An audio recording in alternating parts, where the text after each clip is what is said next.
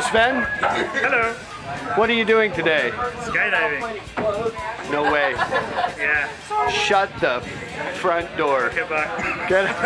it's your first time, right? Yes. How do you feel? Bit nervous, but it's okay. You know what? Don't I worry. You guys? Everybody's nervous. A lot of good instructors here, buddy. As long as you're not with Sean, you'll be fine. Yeah, I guess his name was Sean, maybe. Probably, probably good I said that then. What do you think it's going to be like? Awesome. You might be right. Yeah, I might be right. What do you say we go find out? Yeah, we should. All right, have a good jump, Sven. I'll see you up there, okay?